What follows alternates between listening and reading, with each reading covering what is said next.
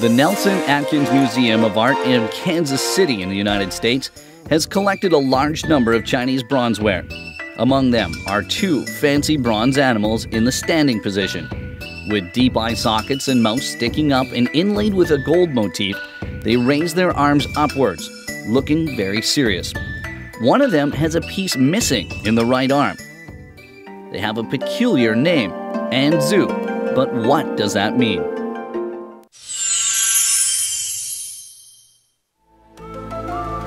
Look at the bronze animals. They raise their arms as if supporting something. But on their heads are edges at right angles.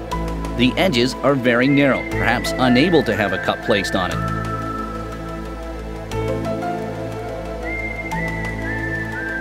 If the two edges combine, it might accommodate a cup.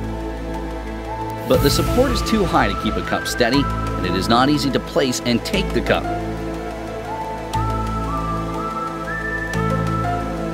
Comparing with the frequently seen wine vessels and water containers of the Eastern Zhou period in the 7th century BC, the two bronze animals seem too small.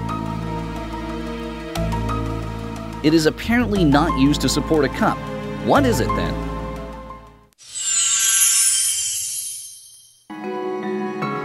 Exquisitely made, the two bronze animals are similar to a candlestick holder in height and size. The shape of ancient Chinese candlestick holders varies and is very decorative. Craftspeople often rack their brains in their design.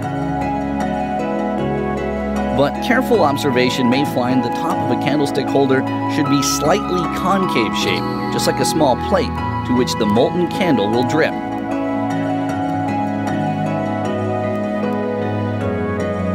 But the two bronze animals do not have such plates.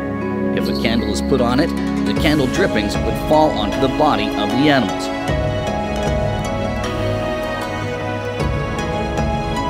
This is not correct either.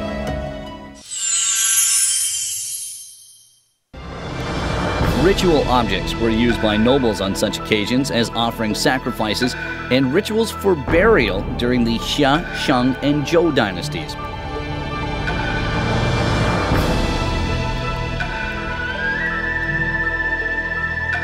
Bronze ritual objects in the Zhou dynasty included tableware, wine vessels, water containers, and musical instruments.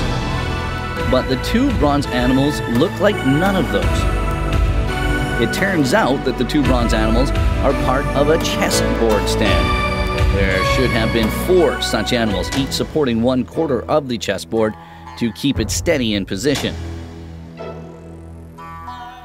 That is why it is called an anzu, which means to keep something firm and secure in position.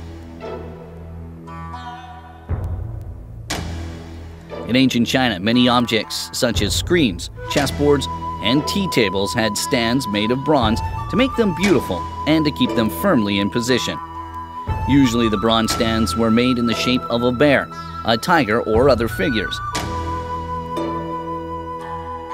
The Hebei Provincial Museum has collected a stand made of the shape of a tiger that is gobbling a deer in its mouth. It is a stand for fixing a screen. The two animal shaped stands in the Nelson Atkins Museum of Art are the stands for supporting a chessboard.